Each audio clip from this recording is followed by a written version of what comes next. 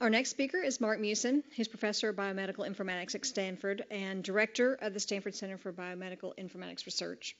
Mark conducts research related to intelligent systems, reusable ontologies, metadata for publication of scientific data sets, and biomedical decision support. His long-standing work on a system known as Protege has led to an open source technology now used by thousands of developers to build intelligent computer systems and new computer applications for e-science. He is also principal investigator, principal investigator of the National Center for Biomedical Ontology, as well as the new Center for Expanded Data Annotation and Retrieval, or CEDAR. Thanks, thanks so much, Amy. Let me thank the organizers for inviting me. Let me thank all of you for making it through this morning. I understand that I am the main obstacle between you and lunch. And I, I will, will, work hard to make sure that everybody is uh, well fed. Uh, what I'm going to do in the next few minutes is give you an introduction to a new center that we've just started at Stanford, something that just got funded last fall, something which we call CEDAR, the Center for Expanded Data Annotation and Retrieval. Uh, we like the acronym. We particularly like the idea that it's a tree. It makes it very Stanford specific, although I guess it's the wrong species of tree, but that's okay. Um, I'm going to tell you first that in the past 30 years, biology has radically changed. I think you all know that. It's gone from a very descriptive science to one which is data intensive. What you see on the screen is an example of a microarray showing how some 30,000 genes get turned on and turned off in the course of some biological activity. And the advent of high throughput high throughput technology in biology has really changed the way people think about the science and, and more, more importantly, the way they think about their data. And one of the things that we deal with in biology right now is coming up with mechanisms to deal with large numbers of data and also to recognize that because of the large numbers of data, that obviously increases the opportunity for mismanagement of the data and for misinterpretation of the data. Uh, and in fact, I think biologists in particular are very sensitive to all the lay press that has come out in the past few years recognizing the fact that, as we've heard many times this morning, data get misinterpreted and um, science as a consequence uh, fails. NIH, of course, is very sensitive to this problem, and one of the things that they've been struck with is the need, first of all, to deal with the problem of replicability of biological experiments, and also just to deal with the vast numbers of data and to make sure that those data are available so that people can actually make sense of them. Uh, a couple years ago, uh, NIH began a new initiative called the Big Data to Knowledge Initiative, or BD2K. Uh, and BD2K uh, is a great buzzword, but it also has been a great opportunity. Uh, last, uh, well, I guess in 2013, uh, there was a call for participation, a call for applications for centers of excellence in big data science. NIH, of course, doesn't define what big data science is, but I guess we know it when we see it. And uh, ultimately, 11 centers were, were, named. And actually, what's really exciting is that two of those centers for big data science are at Stanford. I'm going to be telling you about one. The other is uh, Scott Delp Center that deals with uh, mobility and, uh, and, um, and, and, and, disability associated with, with, with those kinds of problems.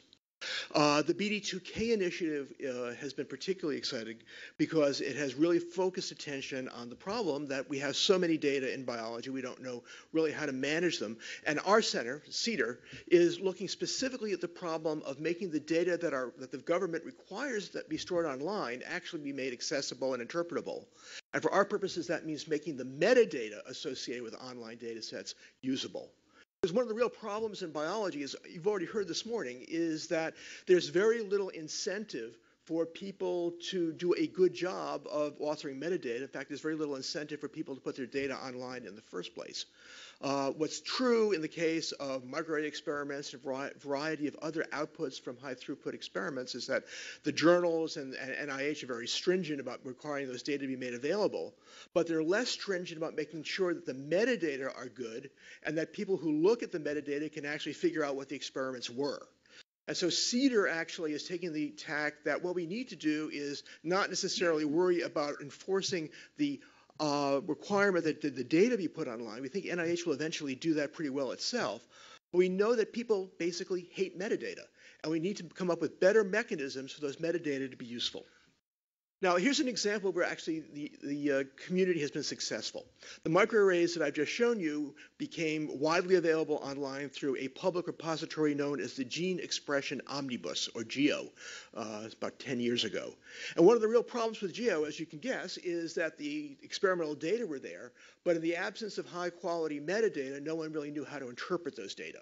And so the community got together and created something called the MIAME Standard, the uh, minimal information about a microarray experiment standard, which was basically a checklist. It was a checklist indicating what are the kinds of things that you would want to include in your metadata that would allow another investigator to actually figure out what you did. And what I think is an interesting theme in, in, biomedicine, particularly in biology, is this increasing effort on the part of the community to rally around the idea of creating these standards for what metadata should be for their data sets. Now, I'm not going to argue that people actually use the standards or use them well, but the standards are emerging, and MIAME is a good example of that. But MIAME has problems. Even though MIAME is required now by GEO, the Gene Expression Omnibus, as basically a framework for filling in the metadata that get associated with everything that investigators put online when they want to store microarray experiments in that repository, um, many people would argue that what the community viewed as a minimal information set was really not all that minimal. And in fact, when you look at, uh, uh, at the online metadata in GEO, although this example is, is pretty well filled out, most of the fields are, are, are pretty, pretty, pretty much blank. Uh, investigators don't have a requirement to do a good job of filling in all the data. And as a consequence, the repository suffers because you really can't really take advantage of what the creators of the MIAME standard had intended uh, when that standard was initiated. And so basically, there's, there's a real need to lower the barriers to making it easy to, cr- to create these good metadata. At the same time, the kinds of templates, or at least the kinds of, uh, of standards for metadata in biology, are just exploding.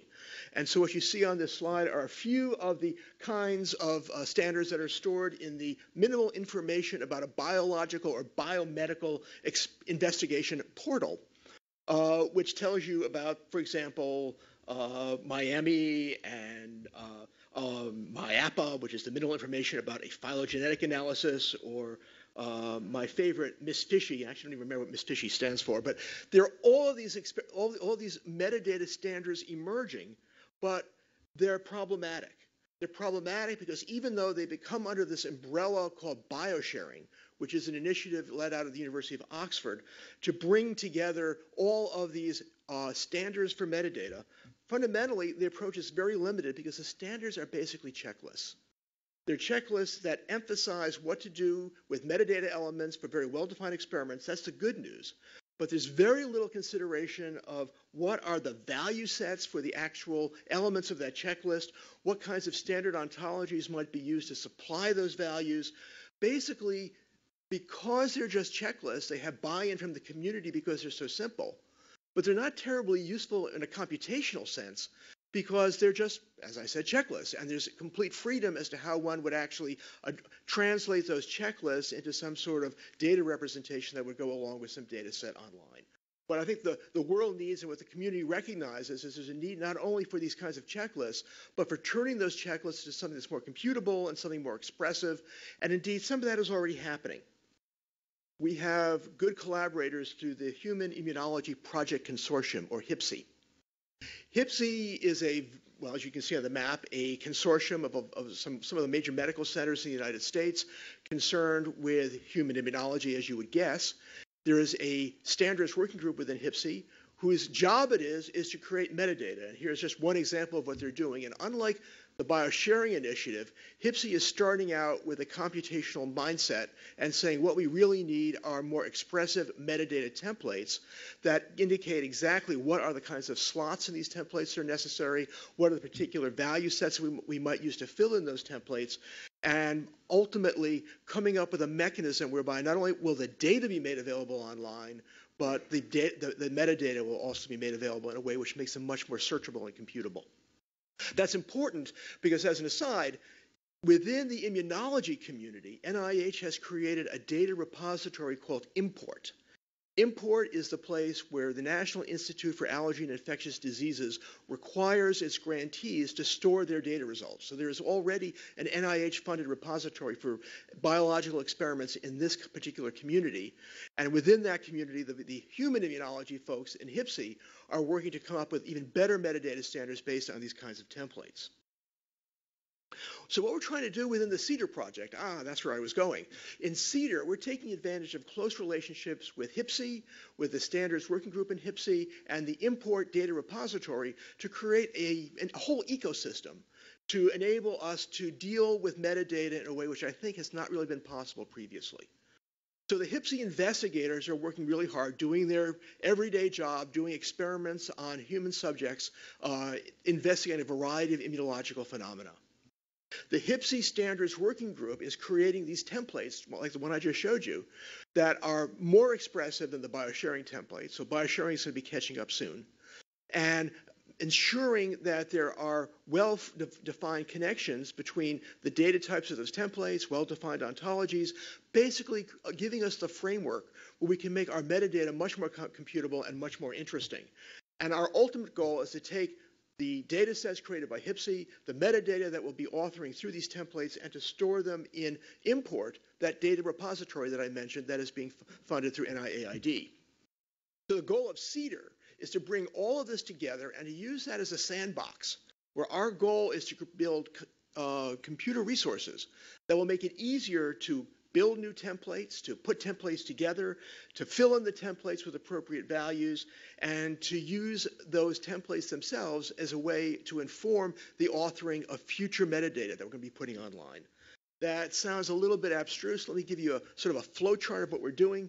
The idea is that we have biomedical scientists who are like the HIPC uh, standards working group building templates that will define the kinds of standard information that we expect to see when we have data sets from certain kinds of high throughput experiments being put online.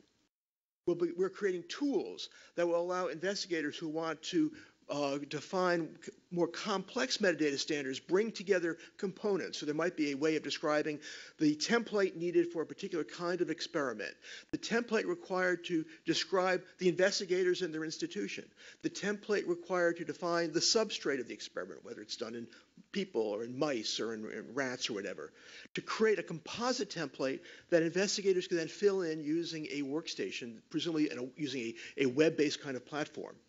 And what we think we're going to be able to do is that ultimately, not only will the templates that people fill in become the metadata that get associated with the online data in the ImmPort repository and other repositories, but at the same time, by storing the instantiated templates, we will be able to create our own repository of the metadata that have been authored in the process of putting all these data online.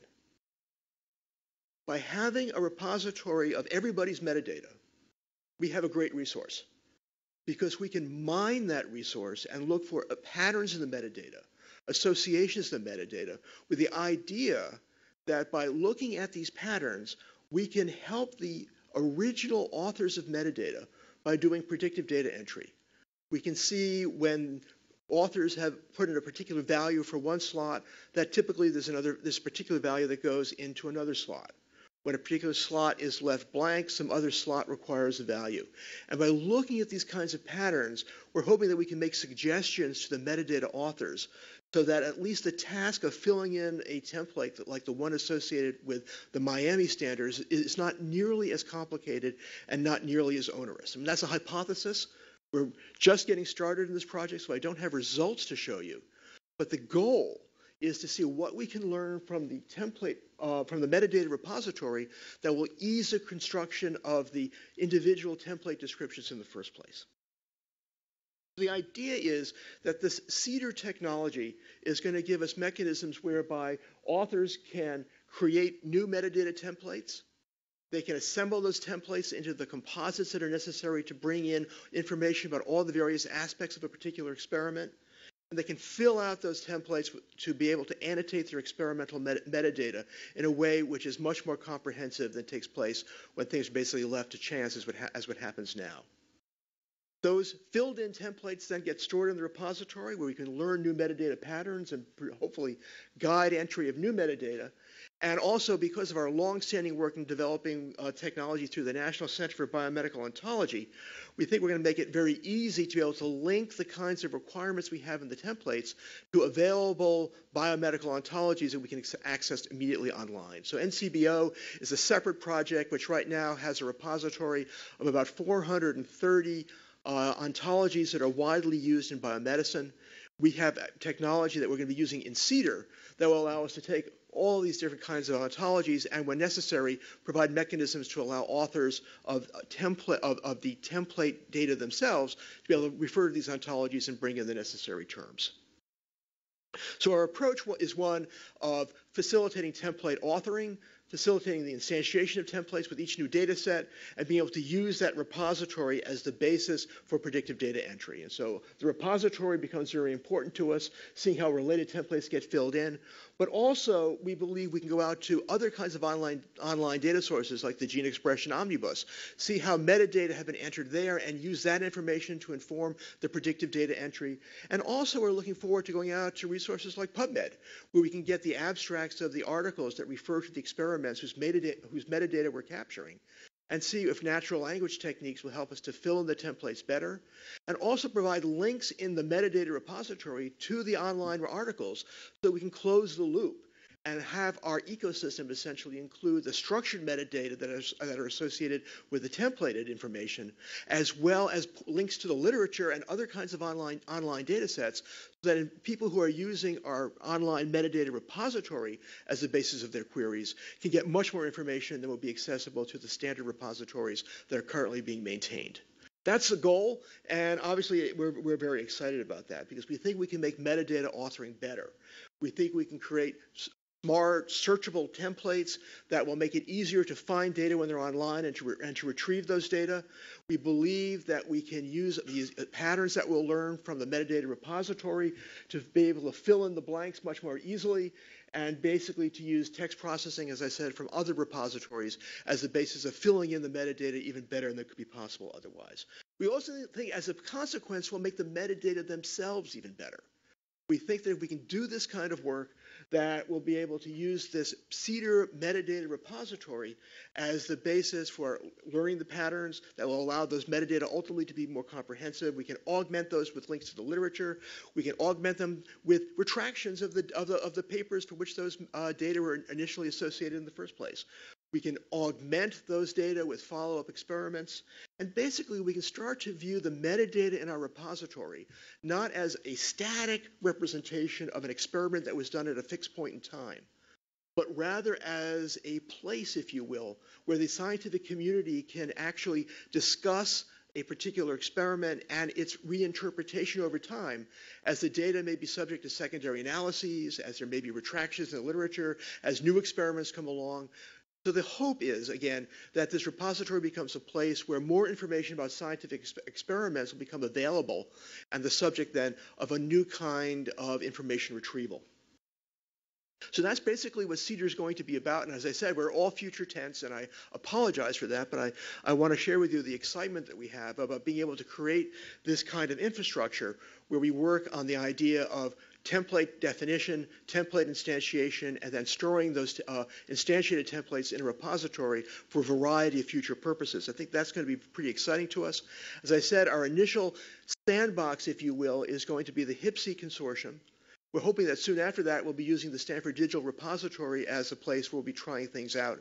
And obviously, with uh, more experience, with more results to show, and hopefully with more funding, then other kinds of biomedical and even non-biomedical experiments could be subject to this kind of approach.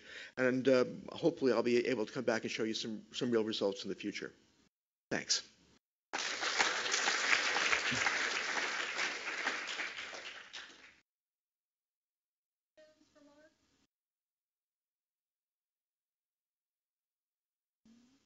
Steve. Steve, of course.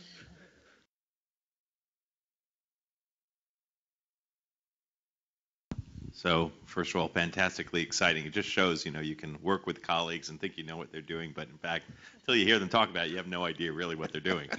Um, so that was great.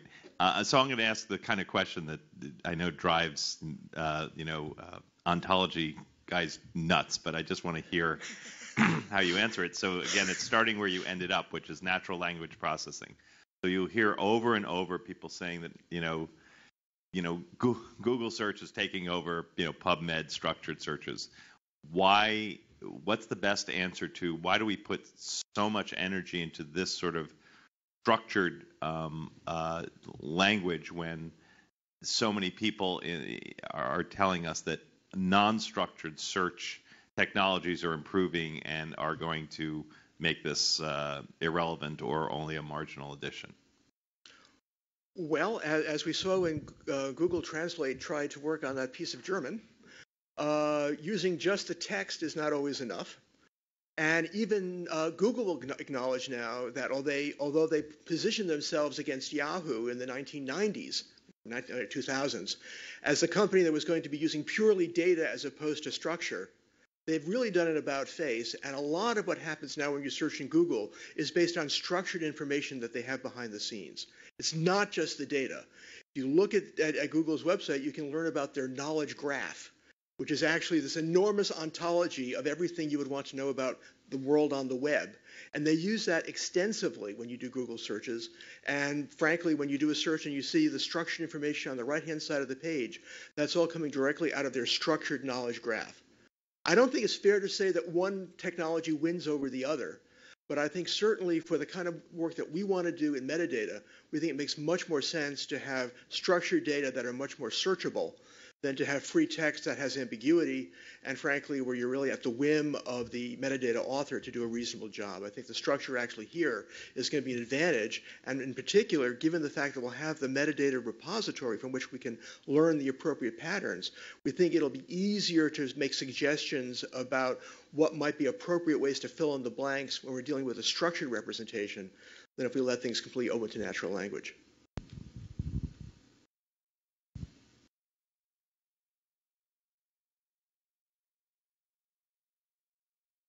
I sense it's lunchtime.